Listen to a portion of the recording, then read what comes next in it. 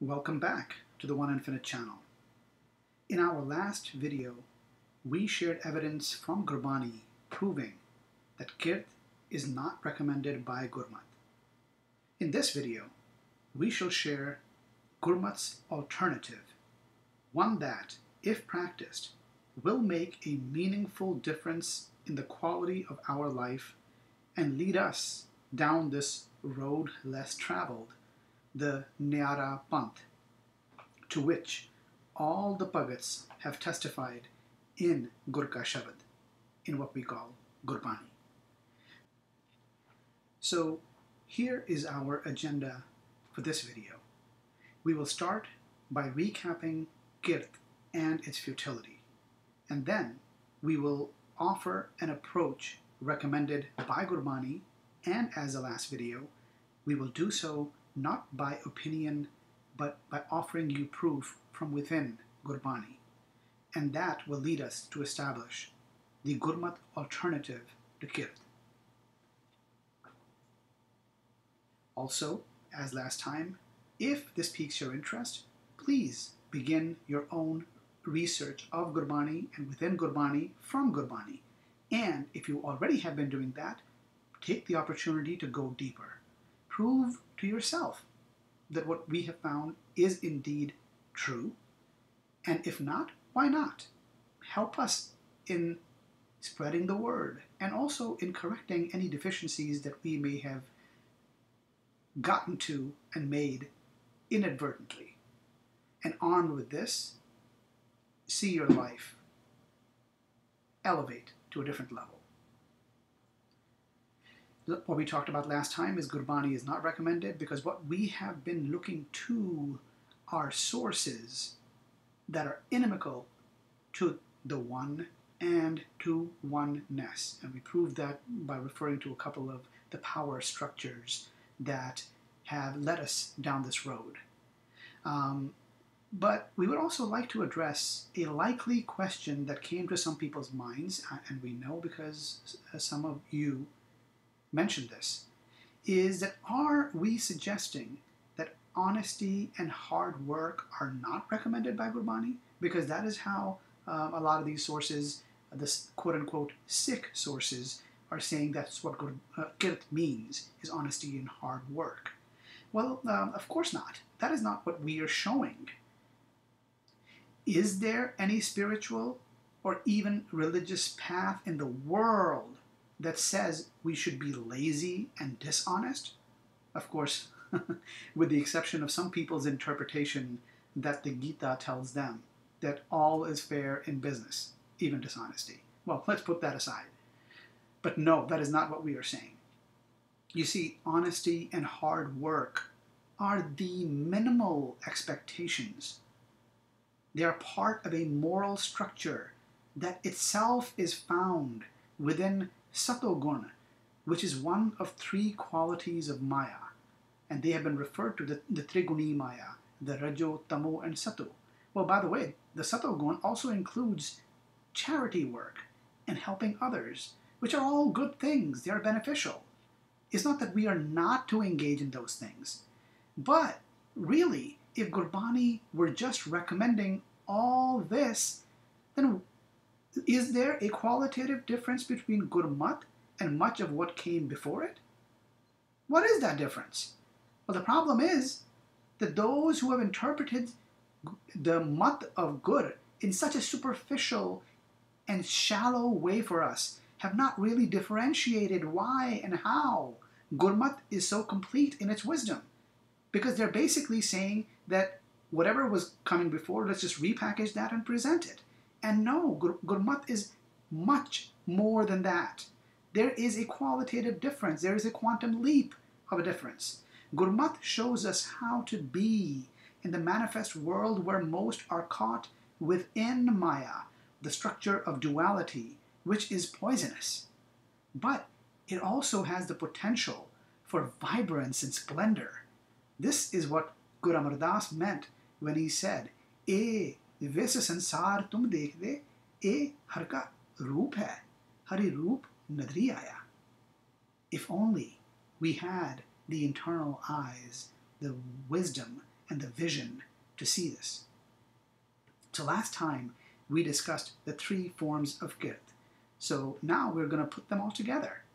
And remember, we everything we shared is from Gurbani, from within Gurbani, and we have attempted to contextualize it in a way that gives us a clear picture that can inform our actions and our morality. We need to stop taking guidance from superficial, from kache, the known ways. If we wish to get gurmat, then we need to step into the unknown, and that is the sphere of learning from the spiritually consistent wisdom to which Gurbani and the Bhagats, whose witness is within Gurbani, that Gurka Shabad itself attests. That is what we need to do. So, in putting all of this together, the easiest way for you to confirm is to look at the hallmarks of life of Kirt, as shown by Gurbani, and see whether they ring true for your own life and to the life of others around you. What about the result of a life of Kirt, as understood through Gurbani? Is that also true? If yes, then we are right to suspect that Kirt is not the way. So let's quickly look at that. What are the hallmarks of a life of Kirt? Well, it's a consistent pattern of missing the mark, which is Bob. Is that something we see happen in our life? Are we suffering due to our never ending desires? Are we ego driven? Are we drowning in our greed and self centeredness? Are we driven to consume, even at the cost of our own well being? Are our efforts focused on everything but being vibrant and integrated in Harika Nam? Are our efforts and, and what we are getting out of these efforts only to sustain that which cannot be sustained, something that will fall apart, it will die, it is temporary. Are we inconsistent in our being? Are we do we have a lot of complaints? Are we engaged in a lot of quote unquote ardas to buy something from this one? Are we asking others to do our ardas, ardas? Are we overly focused and attached to quote unquote relatives and our family, the, the bodily relations? Do we have demands and are we engaged in vapar with the One, with God, with the higher power? And as a result, do we find that suffering is our habitual and guaranteed way of life? And, and really, are we on our way to waste this invaluable opportunity? If that is the case, then we have been engaged in the wrong way of being. And Gurbani calls that kirt. And we are telling everyone and ourselves that the way to live in this world is to engage in kirt. And we are saying that that is one of the pillars of Sikhi. Please, that is not the case. Who is engaged in kirt according to Gurbani? Now we consider ourselves high and better. But Gurbani is saying it is the ignorant and the foolish, the manmukha, the gavar, the sakat, the mood, the pashu, the animals, andule, the blind, blind to spiritual wisdom, those who have lost their way, those who are constantly running after the short lived things, to the shiny, to the allure of the ephemeral, and those who are plagued by insecurities. They who are disunited due to their way of being, due to their habits of being, due to their propensities. And how, what is the space within which these people who engage in kirt, that they operate, that they live in, in a life of darkness, in a life of ignorance. They are attached to the temporary. They are caught in this vicious cycle, and they are unmindful of the body's impermanence, that which they think is important all important to their loved ones, that are all important. Our mo, our attachment is to all of these things that will be gone. And, and this cycle just repeats. So it's this rinse and repeat, rinse and repeat. So what's the problem? Well, the problem is that we are stubbornly committed to the wrong way, to our folly. And we are anchored by prior ways of doing and prior ways of being. We are not stepping into the unknown. We continue to justify what we already know, and we have a lot of complaints. But the problem is that the cause and effect are guaranteed. We will get what we sow. We will get the results of that. There's no way to get around that. And we are well practiced, constantly missing the mark. But we keep justifying all our errors of the past. And we are mentally misaligned with hukam. Now you see, in fact, we really are all within hukam. Hukam andar sabko. Bar hukam na koi. But mentally, we do our best to resist it. And there are certain constraints within which we operate, but mentally we are attempting to go against it. And that is why we continue to suffer. Because as hukam bujyani, we have not unraveled, we have not gotten, it hasn't fit together for us. And we are focused on everything but our own man. And as PJ Pasha, Guru defined for us, the problem, the choices, and the battlefield. What is the problem? That we are stubbornly committed to known ways. And what are the choices? We have two clear choices. Either we can go the inner way or we can go the way of the material. And they will both bear fruit. And then the man is direct, and the man is to do this, right? In or, or outward. And man is to be directed by the good, which measures itself against the universal wisdom and by the universal wisdom. And that is the battlefield. Man is the appropriate focus of all our efforts. Our struggles and negotiations are with our man, and we have to ensure that it is aligned with truth. Man will develop a taste for this type of life, and then it returns for its sustenance in conscious being. And thus, guided, it will find the actions to be fruitful and rewarding in a way that is sustainable. And that is what is before us. These two directions. Live, tat, doera. Live, which is the internal, and tat, which is the substantive and the material. And we will get what we get because hukami kar kamai. Gurmukhi. Apana man marya, shabdi kasvatti lai. And that is exactly what we just referred to when we said that we will get the results of those efforts and our choice is to be conscious and choose actions that will get, get us results that are fruitful and sustainable. So, which actions are fruitful? Good to know that. But as we do that, uh, we have a caution for you. Um, the effort here is to get the essence of Gurmat. It is not for us to provide you with another fake proxy. We don't want to replace Kirt with just another word that, that our thrust of our actions and our being, our way of life, does not change. But we just give you a different word.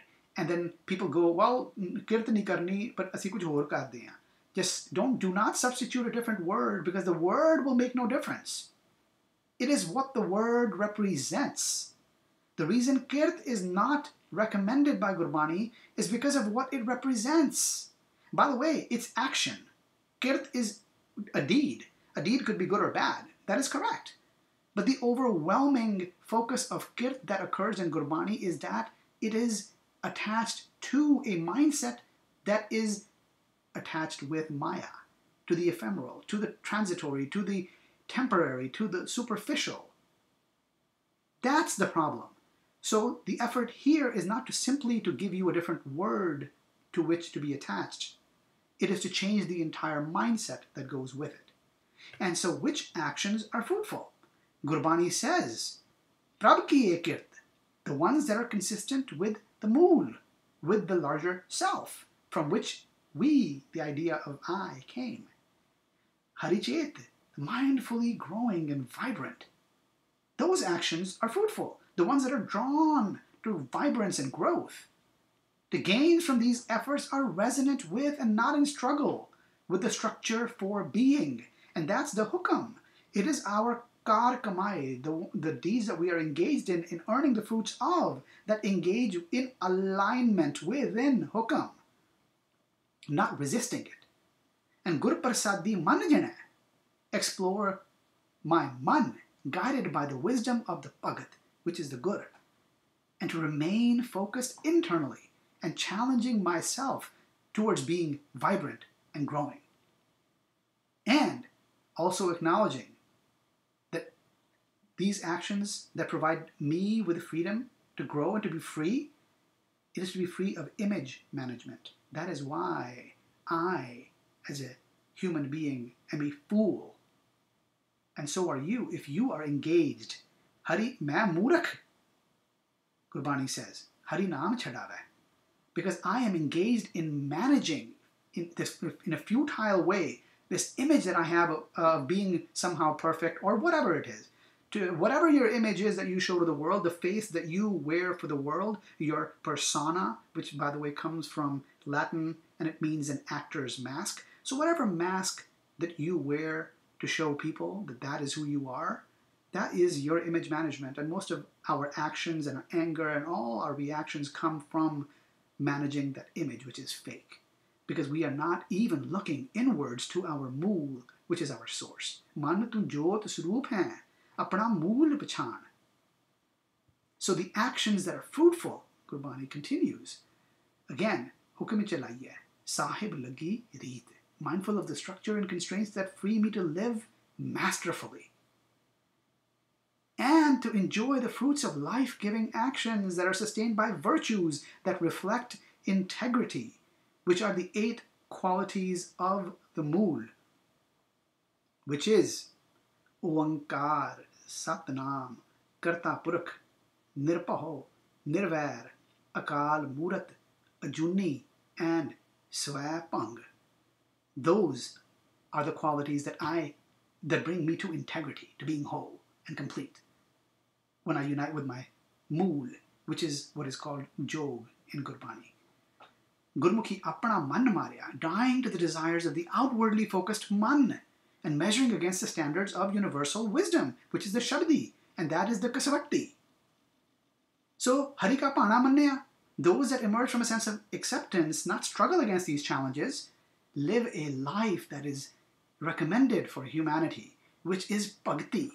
According to Gurbani, that is the way to be for human beings. So, in our next part, part two, we will look at the terminology that Gurbani use, uses to recommend this life.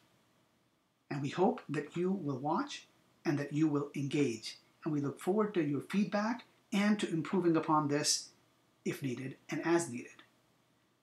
Thank you very much. Vaheguru Ji Ka Khalsa, Vaheguru Ji Ki Fateh.